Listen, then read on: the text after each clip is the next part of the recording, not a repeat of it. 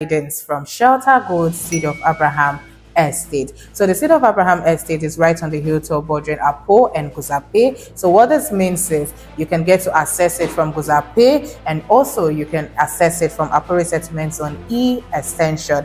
And remember from the layout, this is Guzape 2. So right here at the Seed of Abraham Estate, we'll be neighbors with the Federal Integrated Staff Housing Scheme. It's a place that is um, pliable. It's a place that guarantees massive return on investment because of the government presence that is there. You already know what Guzape is selling at the moment, and this is Guzape 2. So right there at the Seed of Abraham Estate, we have access roads coming in from Guzape. We also have access road coming in from Apo Mechanic. We have access roads that can take you from there down to Karshi. So this place is in the middle of it all. It's in the middle of what you call development. It's in the middle of another city on its own. So here at the Seed of Abraham Estate, we have plot sizes ranging from 200 square meters to 500 square meter, price ranging from 11 million to 20 million naira. Approved building types here are four bedroom terrace duplexes, four bedroom um, villa duplexes with two floors, and of course four bedroom